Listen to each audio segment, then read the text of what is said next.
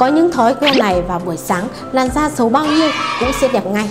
Thứ nhất là uống một cốc nước ấm trước khi ăn.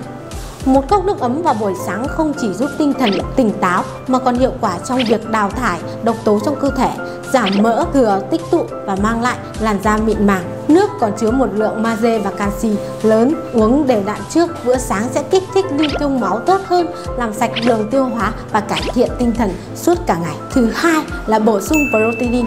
Bữa sáng gồm tinh bột có thể giúp bạn cảm thấy no hơn, nhưng protein mới đảm bảo cung cấp đầy đủ năng lượng cho làm việc. Vì vậy, nếu bạn ăn bánh mì vào buổi sáng, đừng quên bổ sung thêm một quả trứng hoặc một cốc sữa chua nhé. Thứ ba là ăn tráng miệng bằng trái cây sau bữa ăn sáng. Trái cây chứa nhiều vitamin, chất xơ và dinh dưỡng không chỉ tốt sức khỏe mà còn giúp làm chậm quá trình lão hóa, ngăn ngừa sạm nám. Bạn có thể bổ sung các loại quả như chuối, táo, bơ, nho, Tráng miệng bằng trái cây sau bữa sáng còn giúp giảm cảm giác đói, hạn chế tích tụ mỡ thừa ở bụng và nhờ đó bạn có thân hình thon gọn, săn chắc hơn. Thứ tư là sử dụng serum chống lão hóa.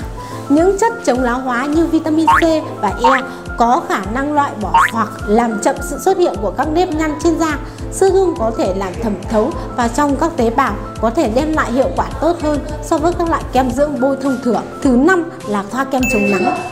Ngay cả những thời tiết mát mẻ hay âm u, bạn có thể dùng thêm kem chống nắng để bảo vệ da trước tác dụng của UV. Nên chọn kem chống nắng có chỉ số SPF từ 30 đến 50 PA cộng cộng cộng, bôi với lượng hai đốt ngón tay cho toàn mặt.